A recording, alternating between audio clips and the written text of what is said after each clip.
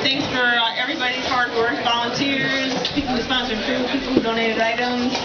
Um, Harry, Alan, and Chad, I know you guys have been putting lots of man hours into this event tonight. It's just wonderful to see all your faces in support of my family, his family, our, our family. This is just awesome. I can't express it enough. It's, it's great.